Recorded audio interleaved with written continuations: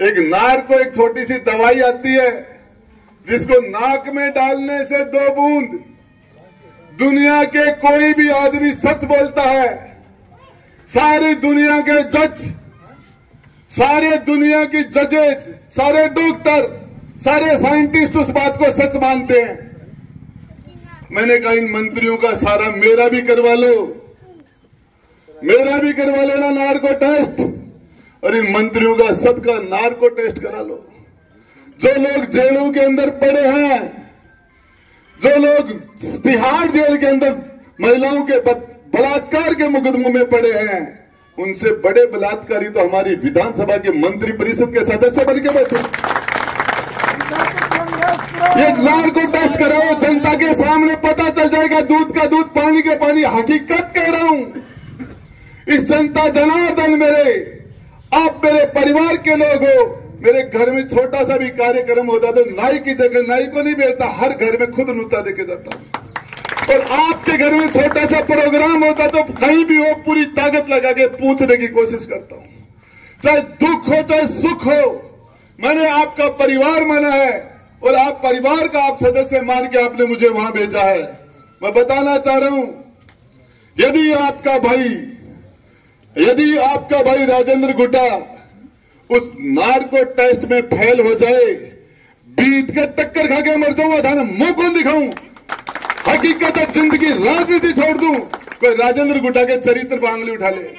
और ये सारे के सारे दरिंदे, जिस तरह किस तरह के लोग विधानसभाओं में जाके मंत्री जमल बन के बैठ गए, अजमेर के अंदर एक कांड हुआ था। उस कांड के अंदर किस तरीके से सारे मंत्रियों ने, सारे लोगों ने उस टाइम के लोग आज मंत्री आज बन के बैठे हैं। इतनी सी बात कही नार को टेस्ट करा लो।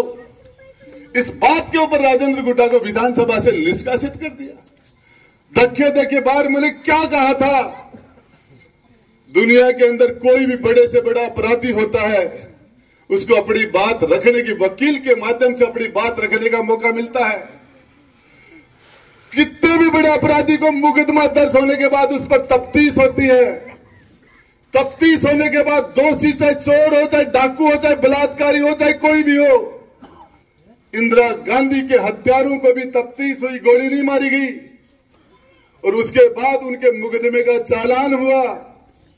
चालान होने के बाद वो मुकदमा बड़े कोर्ट में, सेशन में गया। सेशन सबमिट हुआ। मुकदमे के चार्ज लगा।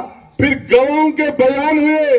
फिर सफ़ाई के बयान, मुलजिम के बयान हुए। फिर सफ़ाई के बयान हुए, फिर वकीलों की बहस हुई, उसके बाद जज ने फैसला दिया। और उसकी भी अपील, मुझे सुनने का मौका नहीं दिया। राहुल गांधी जी बोलते हैं कि मेरा माइक बंद कर दिया और मुझे विधान लोकसभा में बोलने नहीं दिया राहुल जी, आपका तो माइक बंद कर दिया, मुझे तो बैठने के लिए सीट नहीं दी मुझे मंत्री से बर्खास्त करके मुझे यह नहीं बताया कि तेरे को बैठना कहाँ है। और इसके लिए मैं आपको आपके पास आया हूँ। कुछ भी हो जाए, चाहे आप आप सारे लोग जिन्होंने मैं मेरी खाल की जूती बनाकर भी आपको पहना दू तो आपका एहसान नहीं उतार सकता। आप जहाँ कहोगे बैठ जाऊँगा, जहाँ खड़े करो, खड़े हो जाऊँगा। आप कहोगे उधर चला जाऊँगा, लेकिन उनके सामने नहीं झुकूँगा। जो लोग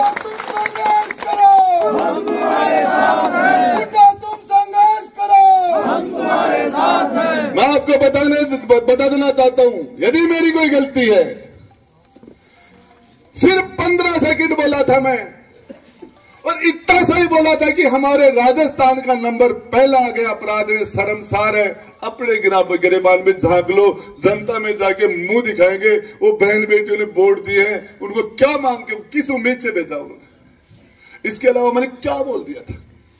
और उसके बाद में, जो लोग मेरे साथ बैठते थे, जो लोग अरे गुडा सब कुछ तू है, वो सारे लोग बेड़ियों की तरह मेरे पर टूट पड़े। मैं आपको बताना चाह रहा हूँ, यदि आप सारे लोग ये लोकतंत्र है लोकतंत्र के अंदर दादागिरी के लिए कोई स्थान नहीं होता। लेकिन राजस्थान की सबसे बड़ी पंचायत में मेरे साथ दादागिरी हुई। मेरे साथ ज़ोर ज़बरदस्ती हुई। और वो डायरी यदि टेबल हो जाती, उसी टाइम इनके सारे के सारे कारनामे सामने आ जाते, मुझे पता है।